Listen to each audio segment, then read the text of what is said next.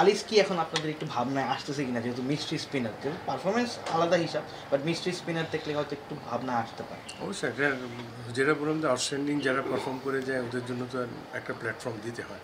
তো অবশ্যই আমাদের একটা যে কোনো একটা ফর্ম্যাটের মধ্যে ওকে আনা হবে।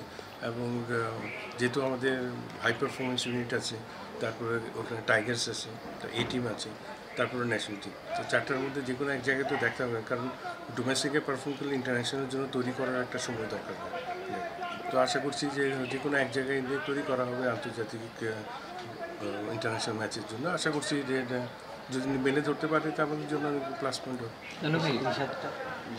ইশারাতে লেগ স্পিনার দেখেন ফ্র্যাঞ্চাইজি টুর্নামেন্টে এটা আমাদের কিছু বলার থাকে না। যেহেতু হাই পারফরমেন্স ইউনিট এবং বিসিএল বা এনসিএল যদি হয় ওই জায়গায় আমরা জোর দিয়ে খেলাতে পারি। যেহেতু এটা ফ্র্যাঞ্চাইজি টুর্নামেন্টে ফ্র্যাঞ্চাইজি ওনাররা কী প্ল্যানে কী করে এটা আমাদের দেখার বিষয় না। তো সুতরাং আমাদের যেহেতু আমাদের হাই পারফরমেন্স ইউনিট আছে ওখানে আমরা পেলে ওকে আবার তৈরি করব একদম জাতীয় দলের জন্য এমনি সাকিবের সঙ্গে আপনার কোনো আলাদা আলোচনা হয়েছে কিনা? ওনার চোখ উনি কেমন ফিল করছেন?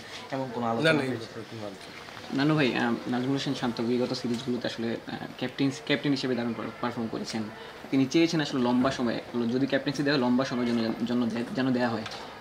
এরপর যদি ক্যাপ্টেন্সি করা হয় আসলে লম্বা সময়ের জন্য দেওয়া হবে এটা তো পুরোপুরি বোর্ড ক্যাপ্টেন ভাইস ক্যাপ্টেন এগুলো ডিসিশন নেয়। এটা আমাদের সিলেকশন প্যানেল থেকে কোনো ডিসিশন নেওয়া তো সুতরাং বোর্ড যদি মনে করে, তাহলে দিবে এটা- বোর্ডের সিদ্ধান্ত। তো সুতরাং এই ব্যাপারে আমি কিছু বলতে পারি। বান্ধব একটা আলাদা প্রশ্ন আসলে আপনি টুর্নামেন্ট কমিটিতে আছেন এবং আপনারা লাস্ট কয়েকটা মৌসুম ধরে আসলে ডিউক বল ইন্ট্রোডিউস করছেন টুর্নামেন্টে আসলে আমাদের যখন নিউজিল্যান্ডে ম্যাচ জিতি বা সাউথ আফ্রিকায় ভালো করে আসলে, এই ডিউক বলটা কোনোভাবে প্রভাব ফেলছে কিনা ব্যাটসম্যানরা বলার ডিউক বলে তো একটা জিনিস দেখবেন যে, কিছু কিছু জায়গায় ব্যাটসম্যানদের সুইংয়ের উপরে এটা মানে ব্যাটিংয়ের বেসিকটা ঠিক করার জন্য কিন্তু আমরা এটা এনেছি। আর এখানে ডিউক বলের সবচেয়ে এটা একটা প্লাস পয়েন্টের সিমটা অনেক হাই তো যখনই যে বল করতে আসে, পুরনো বলেও কিন্তু যথেষ্ট সুইং করে। এটা স্পিনারদের জন্য কিন্তু অনেক লাভ আছে। তো সেই হিসাবে ওই ওই চিন্তা ভাবনা করে কিন্তু এখানে আনা হয়েছে। তো এনসিএল এর ডিউক বলে খেলবে বিসিএলের কোকাগুলো খেলবে, এটা আমরা ডিসিশন নিয়ে রেখেছি। এটা কোনো নামের প্রভাব ফেলছে কিনা আমরা যখন নিজেরা সাফল্য পাচ্ছি সাউথ সাফল্য পাচ্ছি। বলটা বলার এখানে একটু কঠিন সিচুয়েশনে খেলে যাচ্ছে ওইখানে গিয়ে ইউজ হয়ে যাচ্ছে। মানে কী ধরনের ইউজ হচ্ছে? মানে কঠিন কন্ডিশনে খেলার জন্য আসলে আমরা তো নিউজিল্যান্ডে ম্যাচ জিতলাম। এখন দেখেন লঙ্গার ভার্সনের প্লেয়াররা আমাদের ফাস্ট বোলাররা এখন সব জায়গায় কিন্তু ভালো বল করতে পারছে। এগুলো একটা প্লাস পয়েন্ট আছে। এখন স্পিনারদের জন্য কিন্তু একটা স্ট্রাগল পিরিয়ড থেকে ভালো জায়গায় গিয়ে বল করার সুযোগ আছে। তো দুই বলের জন্য তৈরি করা হচ্ছে, কারণ আপনার ওয়েস্ট ইন্ডিজে গেলে ডিউক বলে আপনাকে টেস্ট খেলতে হবে ইংল্যান্ডে গেলে ডিউক বলে খেলতে হবে। আবার এদিকে আসলে আপনাকে কোকোপুরে খেলতে হবে। তো সব দিক দিয়ে তো আপনাকে তৈরি থাকতে হবে। লাস্ট কোশ্চেন ইয়ে রনি তালুকদারকে নিয়ে। রনি তালুকদার আমাদের টি টোয়েন্টি সেট আপে আছেন কিন্তু রনি তালুকদার বলতে গেলে বেসিক্যালি এখনও টি টোয়েন্টি টিমে এস্টাবলিশড হননি বা ওনার জায়গাটা এখনও পাকা হয়নি। ওনাকে রিপ্লেস করার মতো আমাদের অনেক প্লেয়ার আছেন, যেমন বিজয় আছেন, নাইম শেখ আছেন বা অনেকেই আছেন। রনি এখন মানে রংপুরের হয়ে তেমন সুযোগটা পাচ্ছেন না।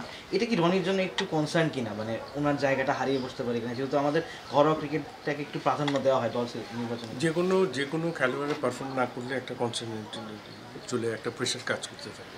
এখান থেকে ওভারকাম করতে হয়। যেহেতু ওর যথেষ্ট এক্সপিরিয়েন্স আছে ডোমেস্টিকে এবং সেই হিসাবে আমি মনে করি যে সামনে যে ম্যাচগুলি আছে নিজেকে আবার মেলে ধরার একটা সুযোগ পাবে, মেলে ধরতে হবে। তাহলে আবার আগের আগের কনফিডেন্ট আপনি ফিরে পাবেন। লাস্ট কোয়েশ্চেন ভাই। বিপিএলও দেখা যাচ্ছে আসলে মাহমুদুল্লাহ, মুশফিকুর রহিম সিনিয়র ক্রিকেটাররাই আসলে পারফর্মটা করছেন। যেমনটা বলা হয় বিপিএলে নতুন ক্রিকেটাররা উঠতে ক্রিকেটাররা উঠে আসবেন। তার জন্য আসলে বিপিএল আয়োজন করা হয়। এটাও আসলে কনসার্ন কিনা যে ইয়ং ইয়ং ক্রিকেটাররা নিজেদের সামর্থ্য দেখাতে পারছেন না। শর্টার ভার্সন ক্রিকেটে আপনি মিক্স পারফরমেন্স পাবেন। এটা মানে পার্টিকুলার আপনি বলে দিতে পারেন না যে এই প্লেয়ার থেকে এই পারফরমেন্স বিকজ এটা শর্টার ভার্সন তো এখানে অনেক অনেক চ্যালেঞ্জ কাজ করে অনেক সময়। তো সেই হিসাবে অবশ্যই সিনিয়র প্লেয়ারের এক্সপিরিয়েন্স যে ভালো খেলে যাচ্ছে জুনিয়রদের কিন্তু একটা বিরাট প্ল্যাটফর্ম নিজেকে মেনে ধরার জন্য। তো যে সুযোগটা পাচ্ছে অবশ্যই এটা কাজে লাগাতে হবে। নিজেদেরকে যদি স্ট্যাবলিশ করতে হয় এই ফর্মেটে অবশ্যই এটাকে ভালো খেলা ভেরি ইম্পর্টেন্ট থ্যাংক ইউ